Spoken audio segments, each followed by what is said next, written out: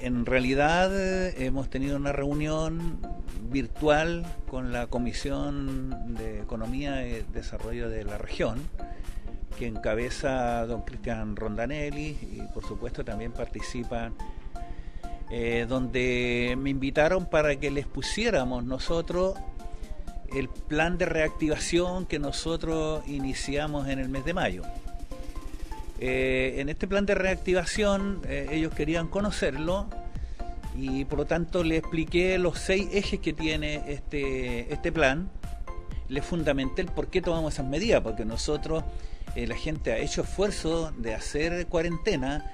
en algún momento el municipio se los pidió y por tener cerrado 10 días, 15 días el comercio, es de que nosotros también quisimos dar una señal que el municipio iba a hacer la rebaja de esto, de estos impuestos que la municipalidad cobra. Y lo otro que, que también eh, un, dentro de las medidas importantes que tiene esta, esta, este plan de reactivación que está relacionado con el tema del empleo.